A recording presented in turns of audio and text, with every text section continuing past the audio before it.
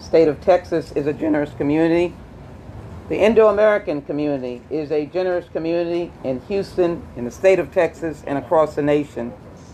As a member of the United States Congress who has been to the region many times, I feel like we are neighbors. When our neighbors are hurting, we are hurting. I did not want to go back to Washington without an opportunity to join some of our local Indo American leaders to be able to give Houstonians the opportunity to join in the efforts that have already been started.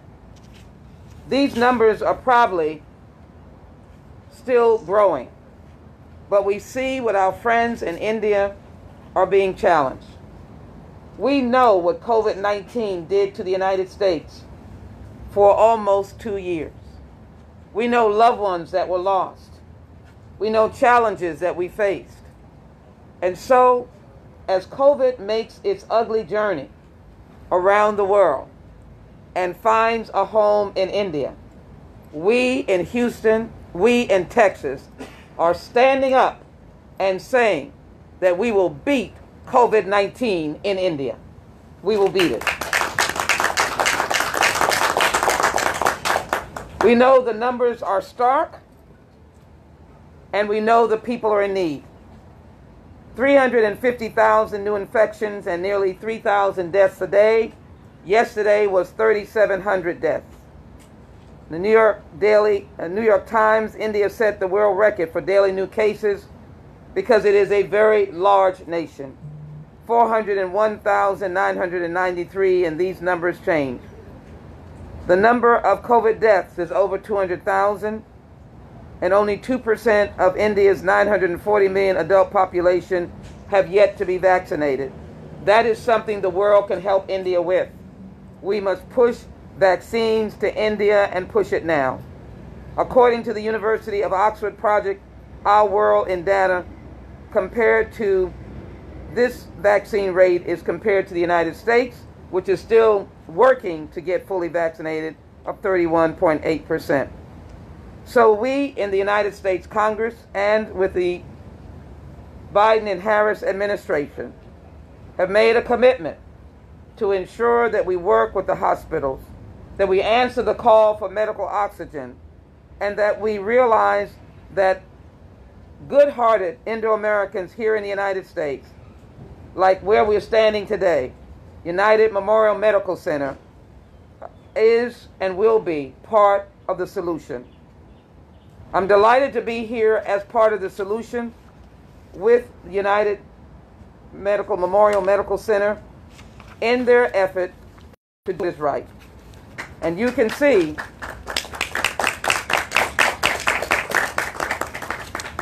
you can see that what is right is to be able to provide ventilators and oxygen.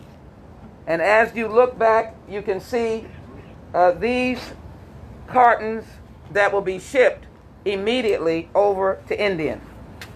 But let me show you what we need more of oxygen, oxygen, oxygen. And in that oxygen, the ventilators that are going are going to be helpful to save lives. We want these families to have their loved one back. We want to make sure uh, that we are part of getting their loved ones back. So I'm delighted to be here.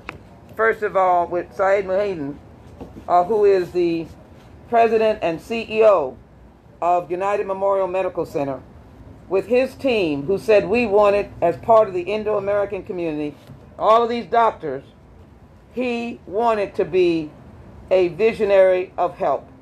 He wanted to be someone who would provide a medical team, expansive medical team, under the protocols of the nation of India to be able to go and to provide extra help.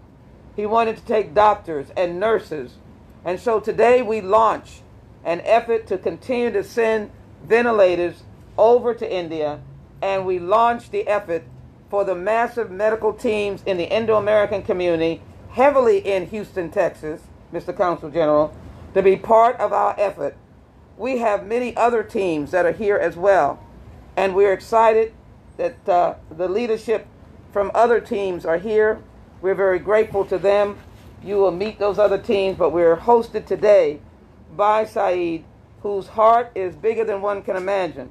And he is prepared uh, to take the lead on a large portion of this product and a major medical team. We have fought COVID 19.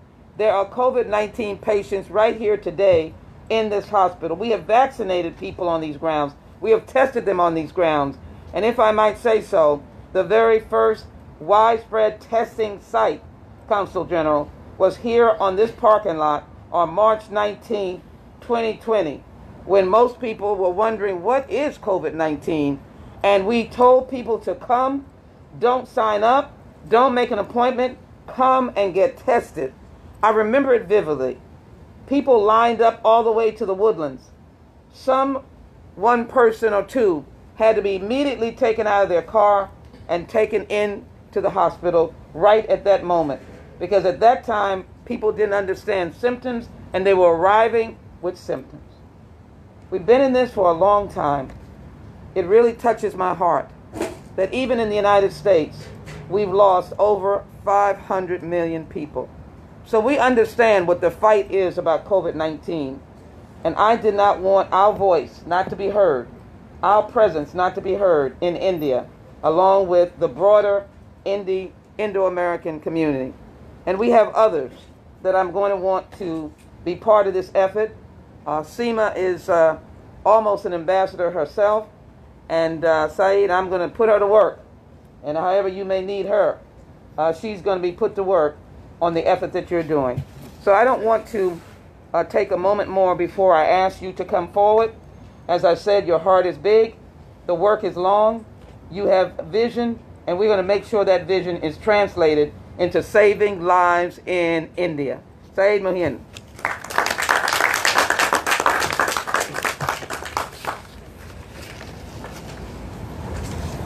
Good afternoon, everyone. Good afternoon. Yeah, I was talking without it. Uh, good afternoon, everyone, and thank you, Congresswoman, and thank you, Consul General, and the community leaders for joining us in this fight against uh, COVID in India.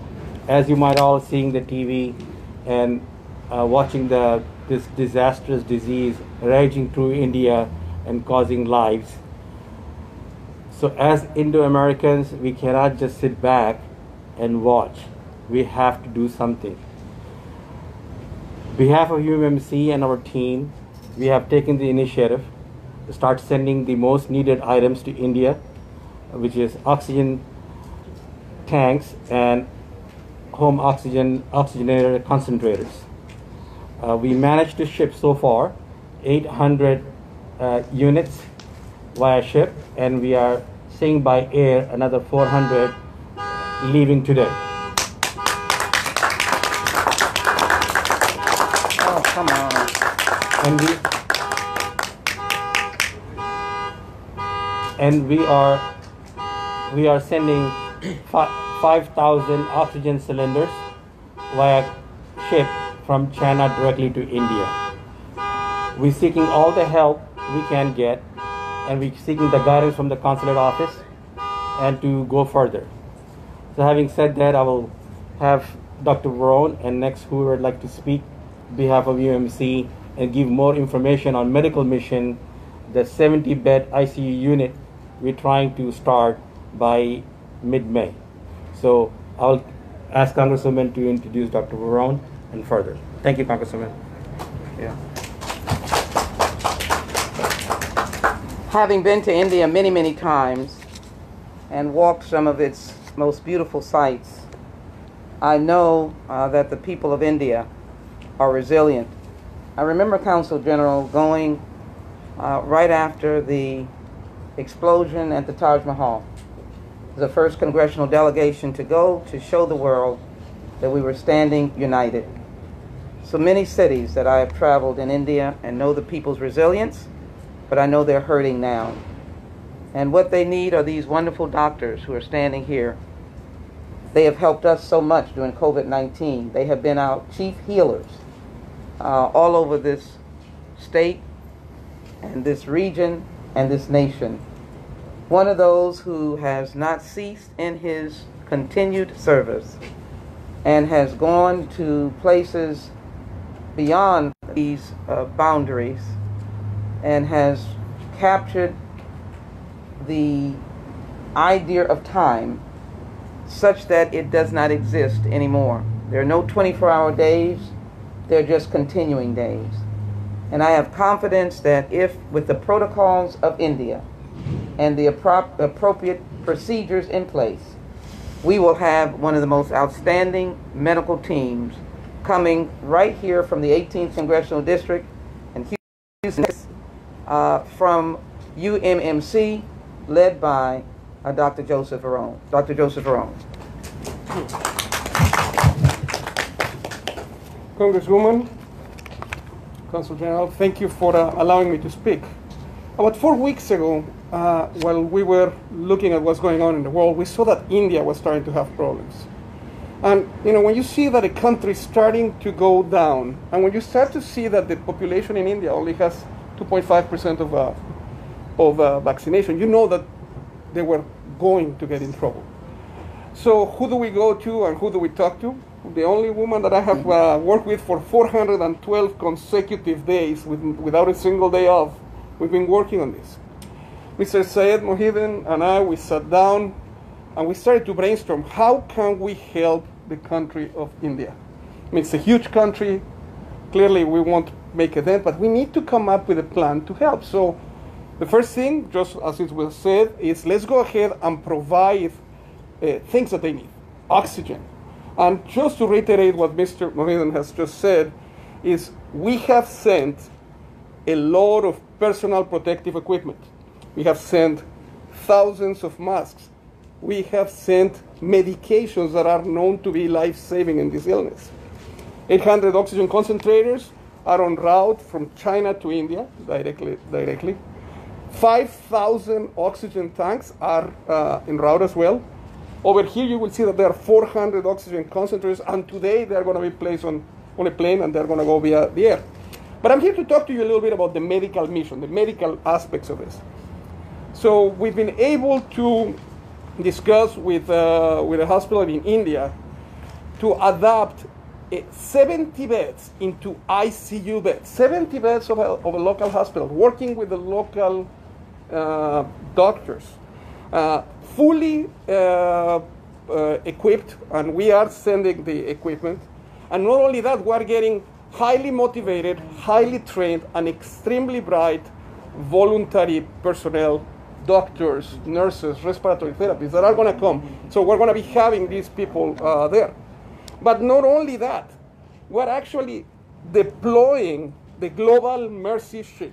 Global Mercy Ship, which is the, the, the is a civilian, the largest civilian hospital ship uh, known to mankind, 200 uh, beds, 16 ICUs, four operating rooms. Our goal is to deploy it to the east uh, part of uh, India and to be able to staff it uh, 24 hours a day with highly trained staff. Uh, all of this, obviously, as you well know, has been sponsored by UMMC, by Mr. Mojeda. Eh, in Spanish, en español, estamos aquí hoy para hablar un poquito de, de lo que estamos haciendo como un esfuerzo para ayudar a la gente de India. Hemos mandado 5.000 tanques de oxígeno, 400 uh, concentradores se van a ir hoy por aire, 800 concentradores ya se han ido. Pero aparte de esto vamos a abrir 70 camas de terapia intensiva en, eh, en la India. Además de esto vamos a poner un, un, barco, un barco hospital con 200 camas, 16 camas de terapia intensiva y 4 eh, salas de operaciones. Todo esto ha sido posible a través de la ayuda del hospital UMMC, específicamente el señor Sayed Mohideen. Gracias.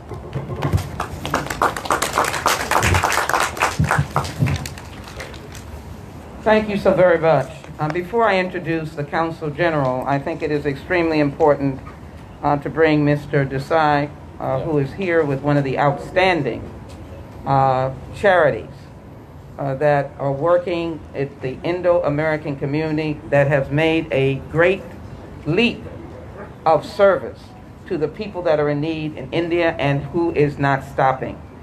And once he speaks, I then want to uh, provide you with how you can help him further. But he has had an international and national impact on helping the people of India. We welcome you and thank you for your service. Thank you, Congresswoman, for the eloquent introduction. Namaste.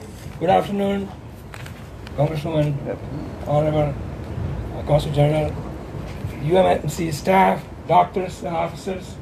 Thank you very much for this opportunity this afternoon. Uh, Seva International is an international organization that operates throughout the United States. We have a big chapter in Houston. Seva is a Sanskrit word meaning selfless service. Uh, we have been serving in Houston since uh, 2005. Uh, recently, Houston Mayor Honorable Turner uh, honored us with the Seva International Day on April 13th. So we are very grateful for opportunity that Houston provides us to serve the local community, national community, as well as the international community. In this event uh, that's catastrophically unfolding in India, Seva International has immediately um, come together with our volunteer force and we've been raising funds through face, our Facebook page, facebook.com, uh, Seva International USA, and sevausa.org, uh, through which uh, we have thus far uh, raised more than $10 million, and we are buying life-saving equipment that has been very much needed in India. We are in constant conversation and contacts with officers in India on the ground. We have about 1,000 plus volunteers serving in India right now. We have launched uh, COVID Seva US, uh, COVIDSeva.com in India uh, with our 200 volunteers. They provide real-time services of information about uh, where the ambulances are available, where the empty beds are in which hospitals, uh, which medical uh, establishments is welcoming right now because there's a lot of rush going on in India. So also we are distributing pa- food packages and kits where need is required. Uh, we are very thankful to UPS Foundation, Air India, and other corporate of America who are helping us uh, without charging anything to move our shipments from Atlanta to New Delhi. And from New, New Delhi, it will go to seven centers across India by Air India free of charge. From that, our volunteers will carry to 22 cities. And from those 22 major centers across India, it will be distributed where our partners uh, decide. There's a committee that decides where this need is immediately uh, based on the authorities' directions. So I would request everyone to support Seva International. Uh, corporate America is supporting us. Communities across the country are supporting us from all walks of life. So we are very grateful for this opportunity of service that is given to us uh, in the United States and in Houston especially. So with that, I will now give back to you. Thank you. Let me repeat it is SEWA International. If you want to be able to help, please call 281 300, and that is 7346. 281 300 7346. If you are in the Houston region and you want to be able to help, please call SEWA International, SEWA International, 281 300 7346. And as well, the India Consulate Office, 832 236 6279. 832 236 6279. I indicated that we are in need of a number of items that I'd like to repeat. Then I'm going to ask uh, the Consul General, who is representing uh, the people of India, uh, to come forward at this time. Again, thank you, Dr. Varon. We know that that process uh, can be facilitated through the Consul General's office uh, to make sure that you have all of the protocols and the appropriate process that needs to be. But I want to speak to Houstonians. We must work at all costs uh, to fight the variants that are now facing India. The presence of COVID 19 is a pandemic, and one might call it a plague. And so we need to provide India and to help with PPEs and ventilators, medical expertise, and vaccines. I am certainly uh, comforted by the fact uh, that the USNS Comfort uh, has been dispatched to India uh, from Norfolk and may be en route or has arrived to provide surge testing for variants from Indian patients to track the variants. Um, we are also hopefully helping to provide supplies in the hardest hit areas, and we're working with other organizations, USAID where appropriate, UN, ICF, UNICEF, the United Nations Agency is providing supplies, including oxygen, concentrators, coronavirus test kits, and personal protective equipment to healthcare facilities. We want to thank the Indian Red Cross that's working, Rapid Response, American Association of Physicians of Indian Origin, and Hope Foundation, Oxfam India. I think one of the big issues that I hope that we can continue to try to work with, and that is AstraZeneca is widely used around the world. Uh, it has not been authorized by the FDA, but our hope is that the United States can help with more AstraZeneca being utilized in India. I believe that is certainly one of the efforts that is extremely important, and I will encourage the administration uh, to work on uh, moving AstraZeneca uh, forward to help the people of India. Again, we're facing a calamity. We're facing 3,000 deaths a day, and of course, infections growing. So that's why we're standing here to say Houston is standing by India and standing by the Indo American community. Representing India here in the United States uh, is the Consul General, uh, who has joined us in many, many different ways, including helping uh, during our most desperate times with COVID 19, the freeze, and we know that we are in tandem working with our nations in the Southeast Asian area and working with our friends in India. Consul General. Thank you. Thank you, Congresswoman Sheila Jackson Lee, Dr. and uh, all the members of community present here today, the Indo-American community who are present here. At the outset, I wish to thank all of you for the expression of support and solidarity with India to fight this global pandemic. As two vibrant democracies having open and multicultural societies, commonalities in culture and shared values, India and United States are natural partners. Our comprehensive strategic partnership is broad based with growing engagement, as you know, Congresswoman, in areas like energy. Houston is the energy capital, in defense, security, trade and investment, and growing people to people contacts. India shares a very strong connect with this part of United States.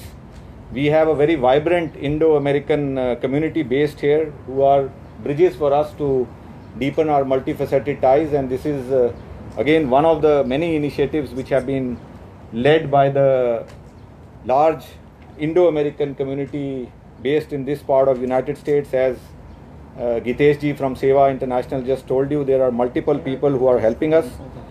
What the thoughts which come to my mind at this time are that you know this is COVID is an unprecedented situation and it is a global challenge. So everybody is going through this.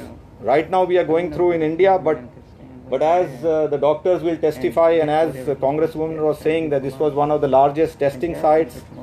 We had uh, people here. There are cases here in United States as well. So, so what we need to understand is that this is a global pandemic, and we need to fight with united efforts and with global solutions. And I'm sure uh, we will be able to prevail over this. We are really grateful to the partnership and all the help that has been extended by United States in addition to the support at the government level, Congressman, as you know, we have also received immense support from the Indo-American community, which is based all over United States, the U.S. businesses, and moreover from the people of United States who are standing in solidarity with the people of India, which is deeply appreciated. And I can just mention this that with the support of all friends like United States who are standing shoulder to shoulder with us, in this fight against COVID. We will face this challenge, and I strongly and confidently believe that with God's grace, prevail and emerge much stronger with what we have learned and also together. So I thank you again for giving me this opportunity to join you today in this initiative, which is which we deeply appreciate, and uh, this expression of support and solidarity is truly truly appreciated, Congresswoman. And I, and I, as you also mentioned, we have been on many other food distribution drives. You have been leading from the forefront, including during the recent uh, freeze in Texas, and on many other uh, Indo-American community initiatives since last year. And uh, we are also proud of the fact that the Indo-American community, which is based here, is also supporting their own communities, their own towns, their own states, and that is the way forward. That supporting each other, showing solidarity, and understanding that this is a global challenge, which will have to be dealt globally and not just uh, you know it's not about one country or some place. We we will remain connected that way. Thank you again.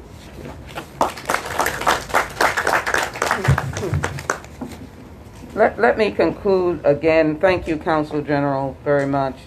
And I want to call off the names of those who are here. I think it is important to have that information uh, and to make sure that uh, doctors uh, are really um, here uh, working. So um, let me thank uh, again Saeed Mohiuddin, Dr. Agarwal, Dr. Barone, Dr. Kadir, Rahil Khan, uh, Ms. Lawrence, uh, Dr. Palom Pandu, Panju, uh, Mr. Patel, Dr. Patel, Dr. Shakir Udin, um, Consul General. Uh, let me thank uh, Collaborating Voices, Dr. Kathy Tatum, uh, Busy Bee Wellness Center, Azif Youssef, and Medical Bridges, Claudette Farrow. Um, we are a diverse community, uh, and um, we welcome all of your support. Again, uh, let me uh, be uh, helpful with this number, the council office, 832-236-6279. Um, these are life-saving in India, life-saving. Uh, and oxygen is life-saving. So if I might remind you again, these are two patients side by side. Two side by side. Bed space is longing. And there are families who have faced what we have faced, but can welcome the medical teams with the Indian protocols and permission to be able to come. Dr. Varon, thank you for the vision with Saeed. Uh, thank you for not ceasing. Thank you for recognizing uh, the devastation. Again, to Houstonians, we have always stood up when someone has called. And so I want to make sure that you are standing up now and that you are providing what is needed. And I say it again PPEs, ventilators, oxygen, medical expertise, and vaccines. I am grateful to the Biden Harris administration for dispatching the United States naval ship Comfort and as well uh, U.S. Um, AID uh, and the United Nations UNICEF, the Indian Red Cross, which is working, American Association of Physicians of Indian Origin, Hope Foundation, Oxfam India, and as Sewa has said, Indo Americans from around the nation. But we want Houston to be on the map. And so I've given you the numbers. If you feel compelled to provide uh, help, please call the Consul General's office, 832-236-6279. And SEWA International, 281-300-7346. We're going to be a partner in fighting and beating COVID 19 in India. Thank you to UMMC. Thank you to Saeed and the team. Let's give them an applause, please. All the doctors, nurses, medical professional staff. Thank you very much for stepping up and making a difference. And all the doctors who are standing with me here today, you are known as the healers. And we are grateful that your heart is strong and ready to serve even beyond the boundaries of the United States. I want to finish with this. We have not completely comprehended the movement of COVID 19. And the reason why I say that uh, is because this disease, this virus, makes its own way.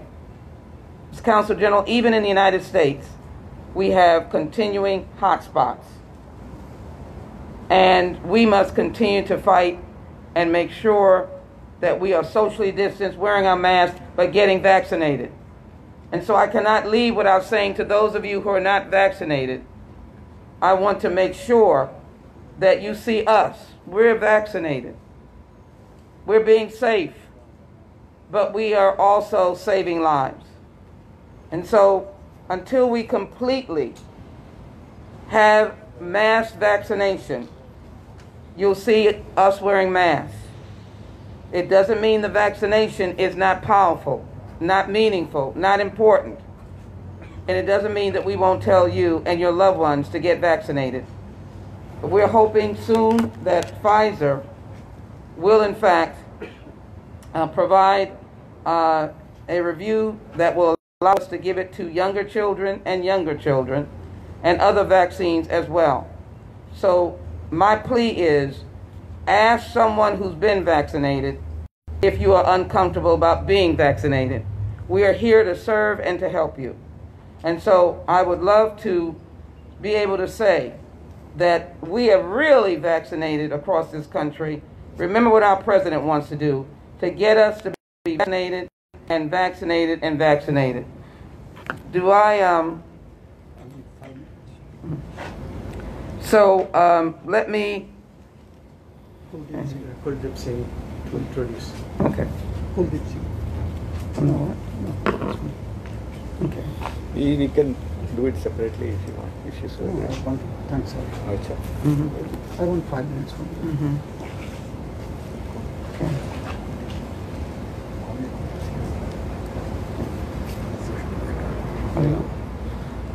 We, we, He's from the- you know, we really truly appreciate your sentiment and support and No, since- about that I'm talking.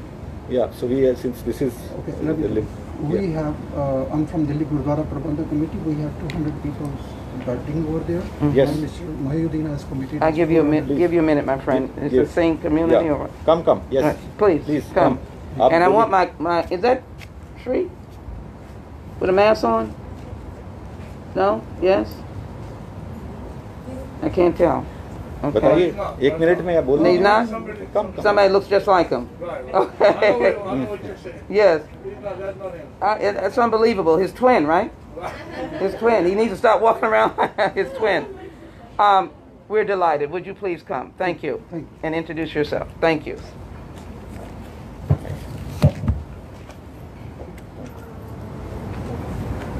Thank you, brothers and sisters, Honorable Congresswoman, our Consulate General. I had been in touch with our Delhi Gurdwara Prabandhak Committee every day. We have about 200 bedded constant oxygen supply system over there, but the people are coming in such a large quantity that they are going back. I brought this thing to the uh, ears of Mr. Mohiuddin, and he promised that before the end of this week, or maybe latest by Monday, he will have 400 oxygen concentrator delivered there. And I'm tr- also trying to make all the efforts uh, to put in 18, 19 radio stations and have all over for people to come for help and join and save the lives. Thank you very much. Thank you, Congresswoman and Consul General, please. So, thank you, Congresswoman. Just the last thing which I want to say is that as the consulate, we are facilitating, as you rightly mentioned, and we truly appreciate this, but we are only, the list of items you have already said, we are here to facilitate if someone reaches out to us. That is what we are doing to connect them to people in India if they so wish to do. So thank you again.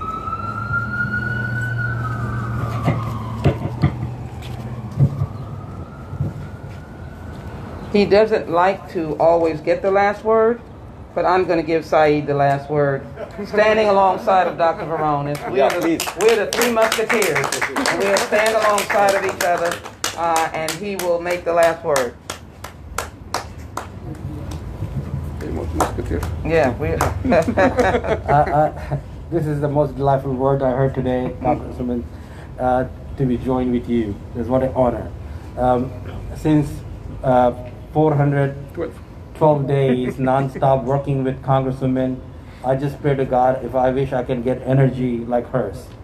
Uh, we just op- we just get so overwhelmed operating a small hospital system when she is on a day in 24 hours non-stop taking care of these her district and, and on and apart from district nationwide problem and international people reach out for help so it's from bottom of my heart congresswoman i'd like to thank you and for your support your guidance and we'd like to make a difference with your help Thank you. Thank you, Consul General, for your presence, and we appreciate. And most of all, I'd like to thank our UMC's team and all the respected founder doctors of this hospital who has worked here for last 30 some odd years and laid the stone for this hospital since 1992. I would really appreciate your help and always continuous guidance. Thank you very much.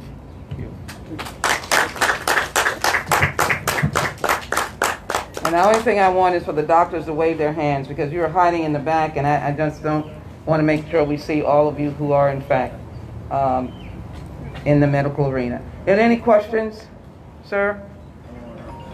Okay, you got everything?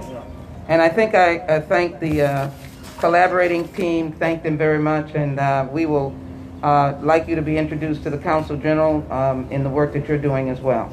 All right, thank you very much. Thank you, everybody. You did a beautiful job. Thank you.